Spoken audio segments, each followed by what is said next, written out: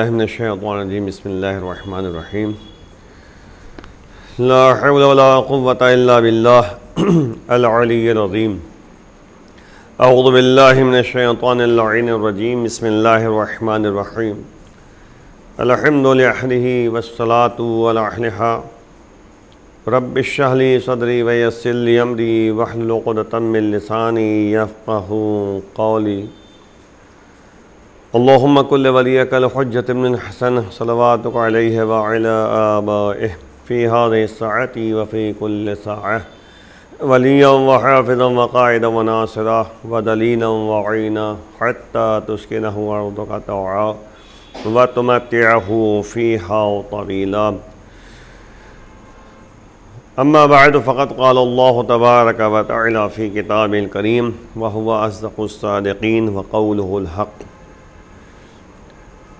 व क़ौलुहुल अतील्लाह व अती रसूल व उलिल अम्र मिनकुम।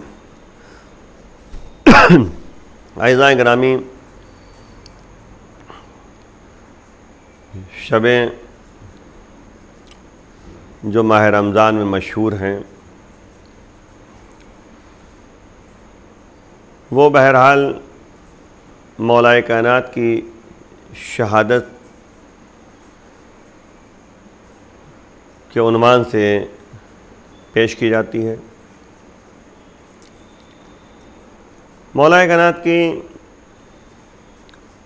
जो अलमिया और अलमनाक शहादत जो है, जो मंजर आम पे आई है, अगर आप गौर करें, मौलाए कायनात की विलादत खान काबा में हुई। और शहादत मस्जिद कोफ़ा में, ज़रबत जो है मस्जिद कोफ़ा में उनके सर पे लगी। अगर आप जो है इन दोनों के दरमियान की ज़िंदगी का मुताल करें तो ये जो मौला ने फरमाया कि, फुस्तो रबिल काबा काबे के रबी कसम में कामयाब हो गया। तो मौला हमें बताना चाह रहे हैं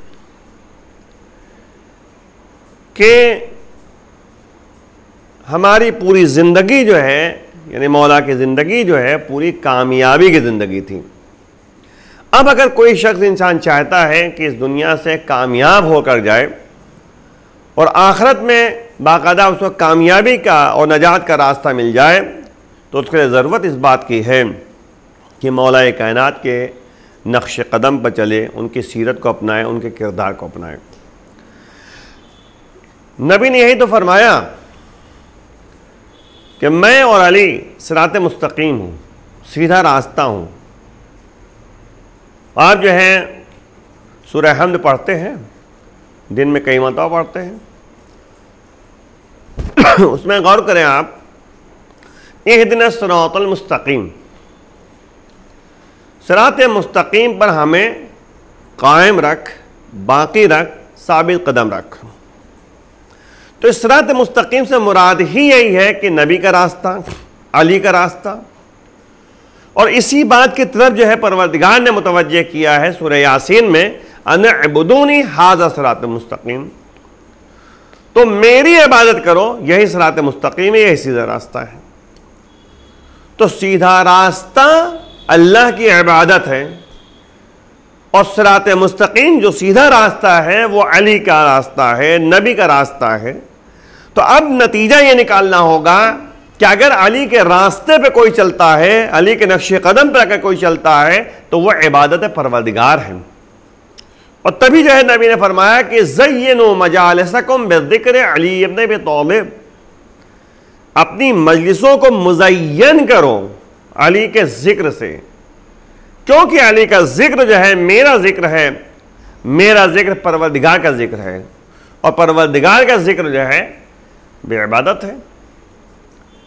तो यानी अली का ज़िक्र, अली की याद, अली के नक्श कदम पर चलना, अली की बात को मानना, अली के इतबा करना, अली के अतात करना, यह है बहरहाल जो है सीधा रास्ता, इबादत परवादिगार इसीलिए कुरान में जो है, इर्शाद होता है कि अल्लाह के अतात करो और उसके रसूल के अतात करो, और जो साहिबान अम्र हैं, उनकी एतात करो।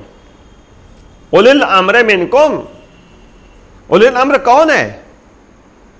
आयम ताहरीन।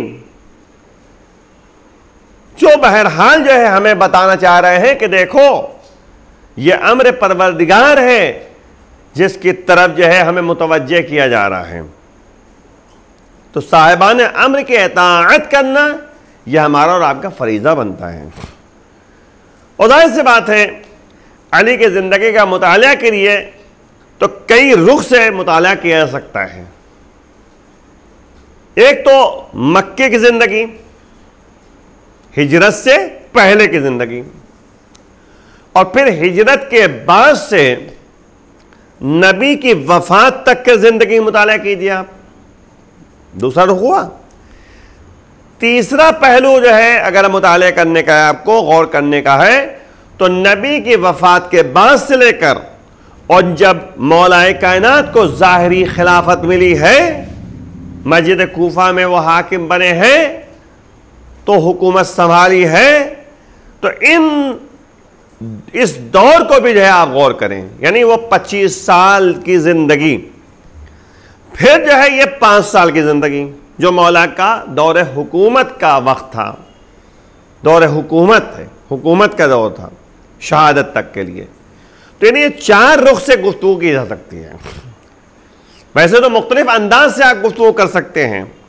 इबादत के लिहाज से, अखलाक के लिहाज से, सियासत के लिहाज से, है? और बाकायदा जो है, यानी रवाबित आमा के लिहाज से, तमाम उमूर से आप जो है गुफ्तु कर सकते हैं। लेकिन फ़िलहाल जो है आपके सामने जो मक्के की ज़िंदगी का एक सिलसिला था मौला कायनात के पास, उसके बारे में मुख्तसरा आपके सामने अर्ज़ करता चलूँ। वो मौलाए कायनात। जब जो है नबी ने दावत जुला शीरा के लिए जो है बाकायदा अली से कहा, इंतज़ाम करो। तो मौलाए कायनात ने बाकायदा जो है दावत अशीरा का इंतज़ाम किया। और जब मौलाए कायनात ने जो है दावत का इंतज़ाम कर लिया और अफराद आ गए, उन्होंने खाना खाया। नबी कुछ कहना चाह रहे हैं, लेकिन ये लोग जो है उठ के चले जा रहे हैं। दूसरे दिन भी ऐसे ही हुआ। तीसरे दिन भी जो है दावत हुई। नबी कुछ कहना चाह रहे थे, लेकिन अबू जहल ने कहा, नहीं, उठो उठो, चलो चलो चलो। बहरहाल जो है जनाब अबू तालिब ने एक दिन देखा, दो दिन देखा। अब तीसरे दिन जो है जनाब अबू तालिब ने कहा कि, नहीं, तुम लोगों को सुन के जाना पड़ेगा। जो कुछ जो है नबी कहना चाह रहे हैं, उनकी बात को सुनो, गौर करो। अब जो है, जनाब अबू तालिब का रोब दबदबा था, जिसकी बुनियाद पे सब रुक गए। और उसके बाद जो है, मौलाए कायनात भी मौजूद थे। नबी ने जो है गुफ्तु शुरू की।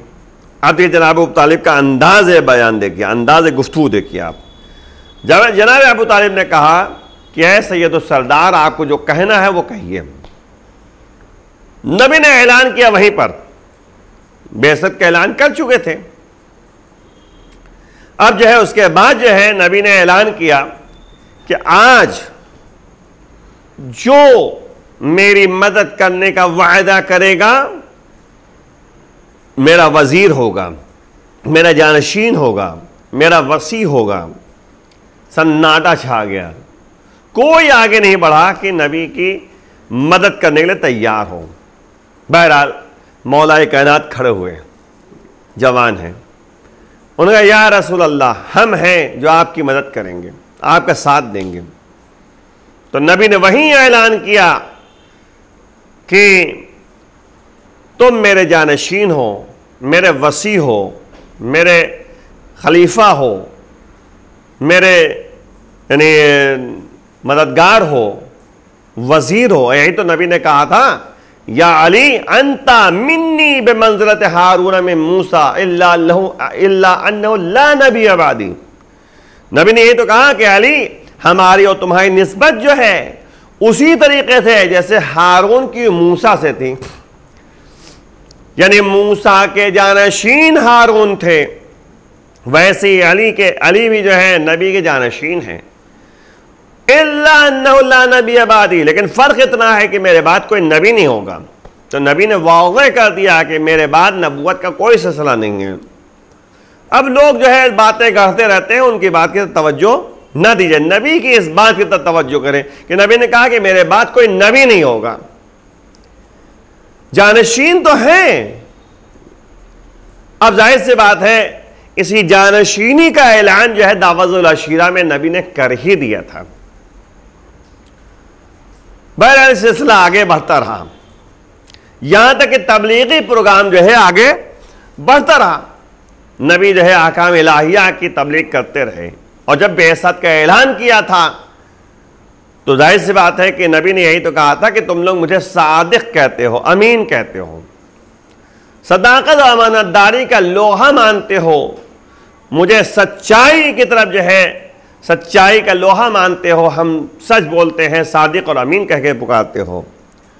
अगर मैं ये कहूँ कि पहाड़ के पीछे कोई लश्कर है जो तुम पर वार करना चाह रहा है तो मानोगे? कहा, आप तो बहराज सादिक हैं, आप जो कहिए मानने के लिए तैयार हैं।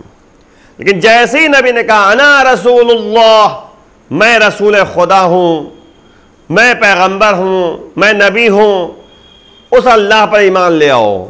अब गौर कीजिएगा, सादिक अमीन तो मानते थे ये लोग, लेकिन अब जैसे ही रसूल खुदा का नाम आया, उन्होंने कभी इनकार कर दिया।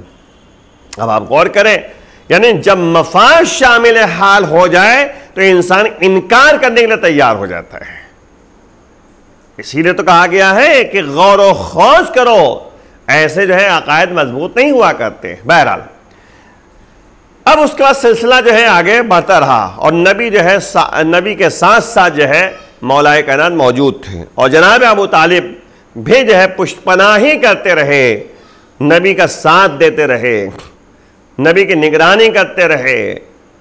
लेकिन वो वक्त भी आता है कि जब आमुल हुज्न का नाम यानी आमुल हुज्न जो है नबी ने रखा था। यानी ऐसा साल जिस साल जो है जनाब अबू तालिब का इंतकाल हुआ था, जनाब खदीजा का इंतकाल हुआ था तो जब आमुल हुज्न जो है नाम रखा था। आमुल हुज्न यानी ऐसा साल जो हुज्न का साल है, गम का साल है। तो उस साल जो है जनाब अबू तालिब का इंतकाल हो गया था। बहरहाल, जब कुफ़ार और मुशरकिन मक्का ने देखा कि जनाब अबू तालिब का इंतकाल हो चुका है तो उन्होंने प्लान बनाया मीटिंग की बाकायदा। और मीटिंग करने के बाद नबी पर हमला आवर होना चाह रहे थे। चालीस तलवारें, चालीस अफराज जो है तलवारें लेकर नबी के घर का घेराव करते हैं। लेकिन आप गौर करें, अली की ज़िंदगी का मुताल कीजिए कि अली ने जो है, जो जबान दावत जुलाशीरा में दी थी, उस जबान को पेश नज़र रखते हुए वायदा किया था तो वायदा निभाया है। और यही अली है कि जब जो है नबी हाथ पे बुलंद करते हैं, तभी उन्होंने आँखें खोली थी तीन दिन के जब थे। नबी के चेहरे के ज्यारत की थी। बहरहाल, अब जो है जनाब अबू अबू तालिब का इंतकाल हो चुका है। नबी ने एक मरतबा कहा, या अली, तुम मेरे बिस्तर पे सो जाओ। दावत शीरा में जो जबान दी थी, वायदा किया था अब उस वायदे को निभाना है। ऐसा माहौल है कि पता है अली को भी और नबी को भी कि चारों तरफ़ जो है अफराद घर का घेराव किए हुए हैं और तलवारें लेकर आए हैं नबी को कत्ल करने के लिए। लेकिन जैसे ही नबी ने कहा, या अली, तुम्हें मेरे बिस्तर पे सोना है। अली ने सिर्फ़ सवाल किया था, या नबी अल्लाह, क्या मेरे सोने से आपकी जान बच जाएगी? तो नबी ने कहा हाँ। जैसे कहा हाँ फ़ौरन जो है अली ने जो है एक्सेप्ट कर लिया, कबूल कर लिया। और नतीजे में जो है नबी चले गए। मौलाए कायनात बिस्तर रसूल पे सोए। वाक़ आप सुनते रहते हैं, लेकिन क्योंकि मुनासिबत है, इसलिए हम चंद बातें आपके सामने अर्ज़ कर देना चाह रहे हैं। उसके बाद मौला कायनात जो है बिस्तर पे सोए और बहुत गहरी नींद सोए। जबकि ऐसे माहौल में हर एक को नींद नहीं आया करती। क्योंकि नबी की एतात कर रहे हैं। कुरान भी कह रहा है, जिसने नबी की एतात की है, उसने अल्लाह की एतात की है। तो नबी मौला बताना चाह रहे हैं कि देखो एतात कहते किसे हैं? कि मौला अगर कह दे, वक्त का हादी कह दे कि ये करना है तो करना है। तो नबी ने जैसे ही कहा, या अली, तुम्हें बिस्तर पे सोना है। उन्होंने कोई बहाना नहीं किया। बाकायदा बिस्तर पे सो गए। और अल्लाह ने भी जो है फ़ख्र मुबाहत किया है। जबराइल और मिकाइल से कहा कि देखो, एक भाई भाई पर कैसे कुर्बान हो रहा है। तो उसके बाद जो है आयत नाजिल वमीना ना से मैशरी नफ्सगा मरदात अल्लाह। लोगों से कुछ ऐसे लोग हैं जो अल्लाह के मर्ज़ी के मुकाबले में अपने नफ्स का सौदा कर बैठते हैं। आयत नाजिल हो गई। तो आप गौर कीजिए, इसे कहते हैं एतवात इसे कहते हैं कहना मानना। और ज़ाहिर सी बात है, वही अली ने जब कहा, फुस्तो रबिल काबा। वाक़ गमजदा इंसान को रहना चाहिए, रंजीदा इंसान को रहना चाहिए कि उन्नीस रमज़ान मुबारक की सुबह मौलाए कायनात घर से निकलते हैं। मस्जिद कूफा में पहुँचते हैं। और उन्होंने कहा कि, फुस्तो रबिल काबा। काबे के रबी कसम में कामयाब हो गया। जैसे ही नमाज़ पढ़ रहे हैं कि शकी ने एक सख्त वार किया, ऐसी तलवार से, ऐसी शमशी से वार किया, जो जहर में बुछी हुई थी। फ़ौरन जो है, मौलाए कायनात ने कहा कि फुस्त और रबिल काबा, काबे के रब कसम में कामयाब हो गया और फिर कहा, बेटा हसन, इन नमाजियों के नमाज़ मुकम्मल करा दो। इधर नमाज़ मुकम्मल हुई है, मौलाए कायनात को लेकर बैतुशरफ की तरफ़ जो है, शिया ने हजर कर्रार लेकर जा रहे हैं कि जैसे ही घर करीब आने लगा, इमाम हसन इस्लाम ने कहा, बेटा हसन इन नमाजियों से, इन शियों से कह दो कि अपने अपने घर को चले जाएँ। कहीं ऐसा ना हो कि जैसे ही हमें मेरी हालत, मेरी जैनब उम्मे कुलसूम देखेंगी बरजस्ता रोने लगेंगी। मैं नहीं चाहता कि इनकी आवाज़ें नामहरमों के कानों तक पहुँचे। माला, यही कूफा है, बाज़ार कूफा है, जैनब उम्मे कुलसूम मेरे बगदा करबला से कूफा, और कूफा थे शाम दर बदर फिराई। अलमीन सेलमदीन दलमकलबून पालने वाले हमें इमाम के आवान अनुसार में शुमार फरमा, हमारे गुनाहों को माफ़ फरमा। बीमारियों से नजात दे दे। परवदिगार जहाँ ये वबा जो पूरी दुनिया में फैली हुई परवदिगार बहक जहरा हो बाल हो बनी हा इस बीमारी से सबको नजात दे दे। इमाम के जहूर में ताजील फरमा। वाखर दावन अलहमदिल्ला रबालमीन